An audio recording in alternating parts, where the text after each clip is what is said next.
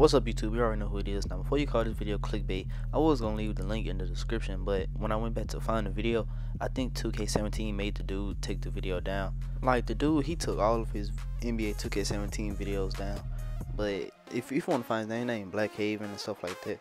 So anyway, the video that I watched of his when he had um all the positions, he was he picked like every playstyle and then he showed y'all the maxes like he was just going up and down on the on the bars to show y'all the max like the max things that y'all can do and the numbers on the side. So yeah so that was that's what happened. I went to put the link in the description but it won't come. So my nigga i'm just gonna tell y'all what i saw with my own eyes. So y'all just gotta believe me. All right all right now every playstyle is gonna have one attribute. So it's gonna have one attribute that go up to like a 90 something. So a slasher you know that obviously the dunk's gonna be on 90 something but everything else below slasher, like the three pointer, that stuff is at a 50. The mid range is at a 60 something.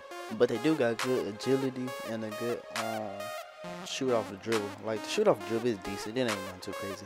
But yeah, so if, if you was planning on making a slasher, he garbage now. Alright, so next playstyle is gonna be shot creator. Now shot creator, they got good shoot off the dribble. They shoot off the dribble go up to a 90 something. But they um mid range is in the 70s and they three pointer in the 70s. So basically, they shoot him just like a outside center was in 2K16. So if he was planning on making a um a shot creator, then your player gonna be garbage. So this video I'm gonna tell y'all the best playstyles to make, cause I got y'all. All right. Now the next playstyle kind of shocked me. It was point forward. Now point forward, like you, you see when everything is all balanced out. No, do not pick point forward. That stuff is garbage. Like everything there is in the high 70s, low 80s. Shoot off the dribble, high 70s, low 80s layup and dunk. High, it's in the low 80s. Um, what was the mid range? It's in the high 70s. Three pointer, it's in the high 70s. Like point forward is the worst position to make. Now the last position I told y'all. Well, this ain't position, this playstyle. Well, I keep saying position, but the last playstyle I told y'all the best playstyle. It was a sharpshooter.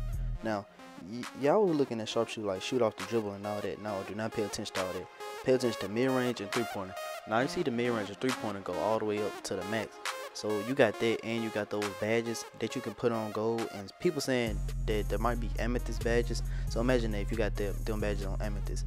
But anyway, so mid range and three point on on sharpshooter, that stuff go up to 90. Like mid range go up to like a 96. On three pointer go up to like a 92. Like you're gonna be OP if you use a sharpshooter for 2K17. I'm just trying to let you know. And don't just say that I was looking at the three pointer and all the um in the range and stuff like that. Like I seen the shoot off the dribble. The shoot off the dribble is in the 60s, and the layup and dunks. Now the layup and dunks is a 50, but I don't want paying attention to none of that. So yeah, if this video helped you, you know, like, comment, and subscribe, and let me know the playstyle that y'all choosing for NBA 2K17. Put it down in the comment section. And yeah, my nigga, I'm gone.